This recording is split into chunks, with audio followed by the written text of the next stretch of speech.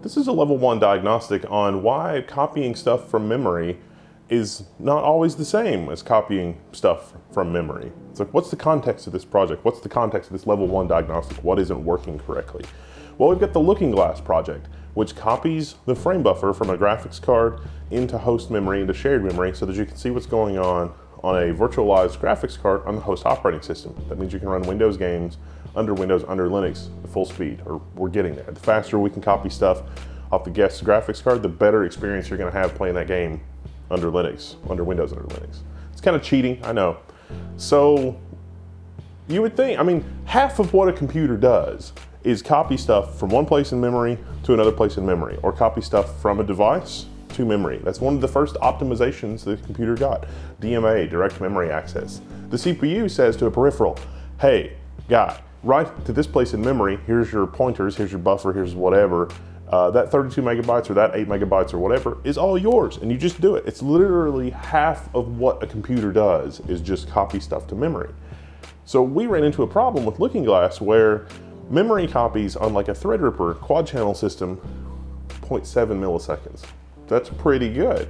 That's almost the you know memory bandwidth. Well, it's not really, it's not quite the memory bandwidth, but it's really fast. I mean, that's over 32 gigabytes a second from our code, from code that we wrote that's not really super optimized. And then on an Intel i9 system, it was more like 1.5, 1.6, 1.7 milliseconds. Huh, that's weird. I mean, that's still really fast. If you're doing a 32 megabyte 4K frame buffer and the system's not doing anything else, it's over a thousand FPS. Uh, but in practice, it's not really so cut and dry. It's not really so simple. So the diagnostic here is to figure out why memory speeds vary so wildly. I mean, we could run AIDA64 and see the memory bandwidth. We can also see the latency. Maybe this is latency related. And we've got to do a deep dive and go into all of that stuff. So I've been working on this video for a while and trying to figure out how to present it in the least boring way possible. But there's just no way around it. I'm gonna have to get a little bit rambly so that you understand the parameters of the project. But this will serve you well in the future. If you need to do this type of diagnostic on your own code or for your employer or for your own you know, side projects, this will help you uh, to understand what's going on. Too many developers, myself included, are like, eh, you know, there's this is bear country. Uh, I don't really want to dive into this. The compiler should figure this out for me. But in this case, I feel like the, the compiler has missed the mark. Let me explain why.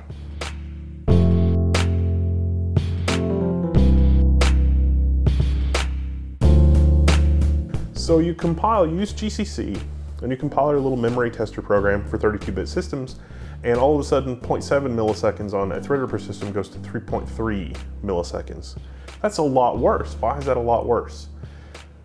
How do you investigate that? I mean, it's just GCC. We're literally just talking about memcopy, M-E-M-C-P-Y. It's a routine in C++ programs to just copy memory. So why is 32-bit versus 64-bit so much slower? If you look at the GCC man page, GCC supports a lot of different microarchitectures, and my assumption, which it turns out is incorrect, would be that the compiler it's really hard to outsmart the compiler, especially with something as fundamental and low level as memcopy. Memcopy should be in like every program under the sun, and memcopy should always be optimized no matter what sort of a condition you're running in. You know, the Intel 386 is from forever ago, over 30 years ago, and it had its own way of copying memory. But then, eh, you know, mem copies are so common that every CPU generation since then has added more and more stuff to deal with memory copies. And, and now we can do memory copies with like AVX 512 because, and that's insanely fast. And so that's a, that's a family of, you know, assembler instructions. It's like single instruction, multiple data, SIMD. And I'm really glossing over a lot of detail, a lot of computer architecture detail, a lot of computer science, but it's not, it's not, this is not a problem that you can solve without really understand without really understanding what's happening under the hood. And even when you understand what's happening under the hood, you have to do a lot of digging to figure it out. So back to our problem. GCC with the uh, you know identical program, identical compile options, literally just saying target this microarchitecture and copy this, and it doesn't work. So we could target Opteron because we're doing testing on a Threadripper system. Intel, Intel is faster, but we'll get to that more in a minute. Um, and so with the Threadripper system, uh, 3.3 milliseconds just compiling for 32-bit, but 64-bit is you know 0.7 milliseconds. Why is the speed difference there? That's crazy. That's a crazy speed difference.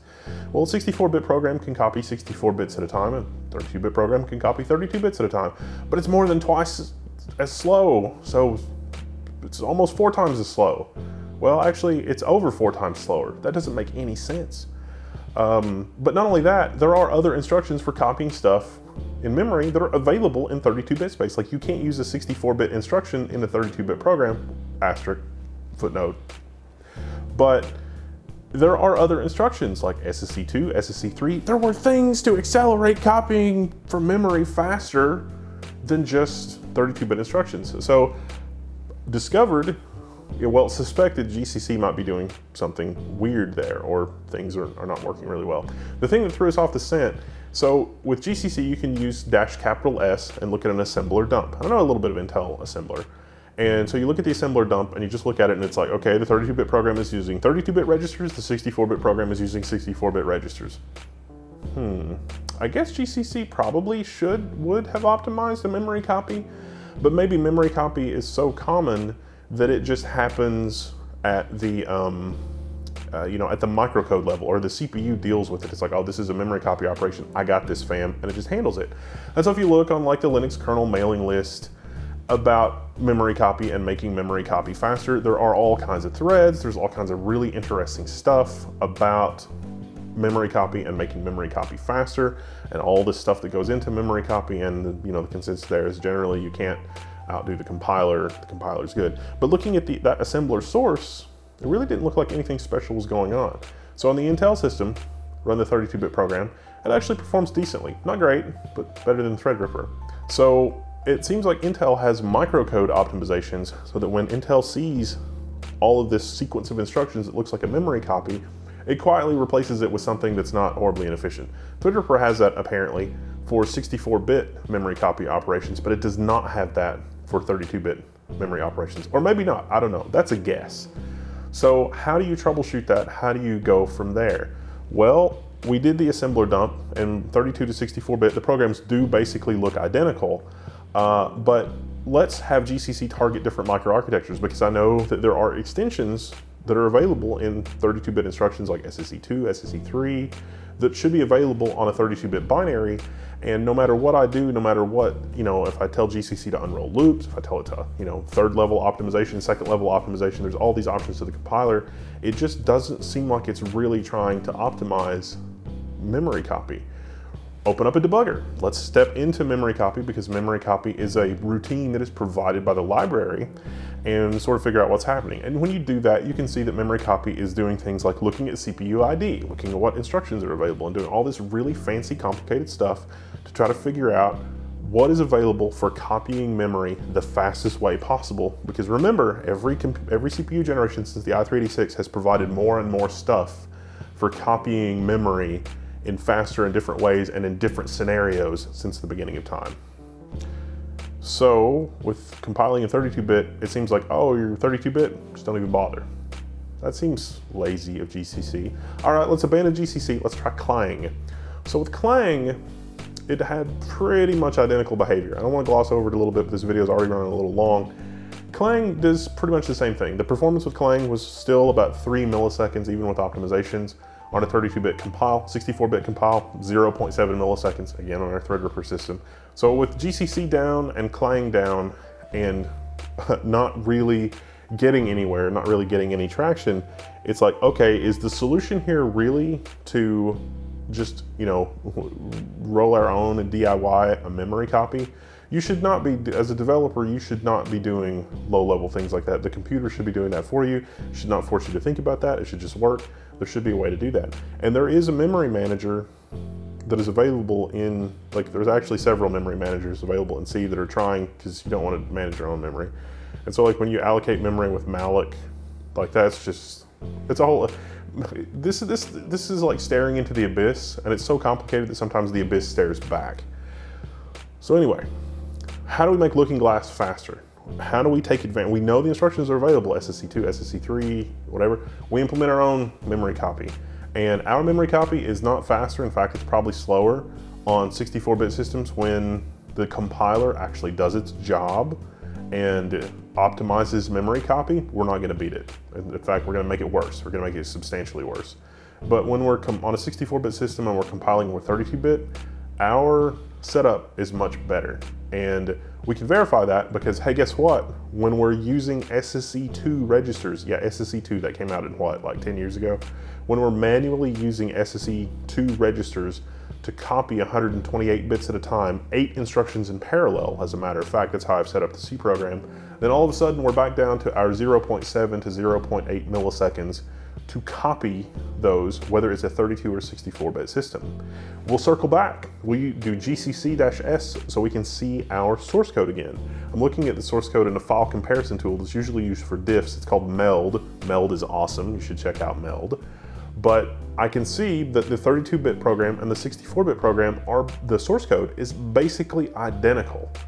So yeah, that's nice. So we're using the 128-bit registers in either scenario. And so there you go. What's happening is the compiler is taking the, the built-in memcopy routine that's available in the library, the standard system library, and inlining that into the code. Now, fortunately, we discovered later that there is actually an option to GCC to tell it not to inline anything, and then it'll use the system's memory copy routine, which theoretically will do the CPU ID checks and say, oh, SSE2 is available, oh, SSE3 is available, and copy the memory that way.